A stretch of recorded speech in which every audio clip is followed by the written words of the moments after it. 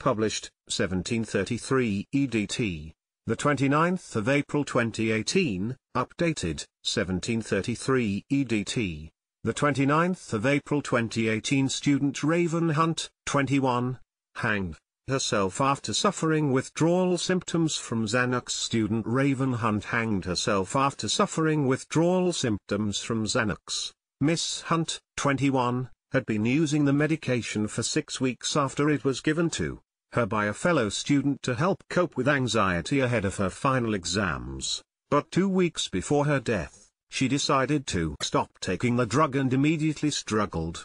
In extreme cases, Coming off Xanax following lengthy spells of abuse can lead to psychosis, depression and suicidal thoughts. Miss Hunt was told by her GP that any treatment could only start after a few weeks without the drug. On April 13 last year, the body of the sociology student at their University of the West of England was found in Leigh Woods, Bristol. She had been just weeks from graduating, Following an inquest which found traces of Xanax in Miss Hunt's blood, her family have called on the police to do more to combat the sale of the prescription drug in the area. They said, as a family, we will only be able to really come to terms with what has happened if the suppliers of Xanax are stopped as this will provide us with a sense of purpose and some closure. Miss Hunt, one of four children brought up by their mother Emmy in Southampton, planned to become a social worker. She had broken up with a boyfriend and was drinking excessive amounts of alcohol while taking Xanax at the time of her death.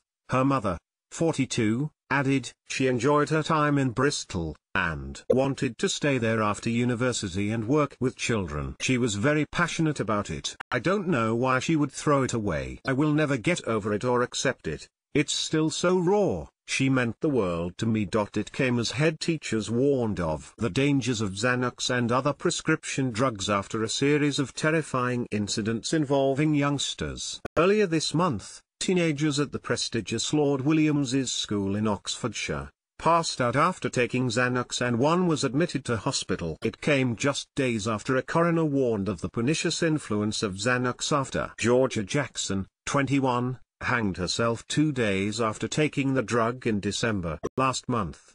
Andrew Halls, head of the independent King's College School in Wimbledon, southwest London, wrote an open letter to parents warning of the dangers of Xanax, describing how several pupils had asked teachers how to break the dangerous habit. He described a rising tide of drug abuse in schools as he told how Xanax is becoming easier and cheaper to get hold of than alcohol. It comes as a Daily Mail investigation has uncovered evidence of chemists illegally selling highly addictive medication for cash without asking for prescriptions after a meeting of London head teachers, he said. Every single head around there table felt that drug abuse by young people was a central concern for schools and parents. In February, six girls from Wandsworth, South London, were taken to hospital after suffering adverse side effects to Xanax. Three ambulances were sent to Burntwood School after one witness said the students were all high and could not walk.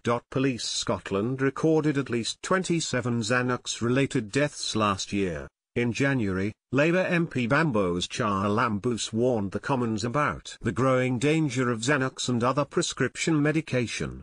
He described how in May last year, 20 children aged 15 and 16 required medical treatment in Salisbury, Wiltshire, after taking Xanax. Last week Barnaby Lennon, the former head of Harrow School, said parents should beware giving teenagers too much pocket money in case they spent it on drugs. For confidential support, log on to samaritans.org or call the Samaritans on 116123.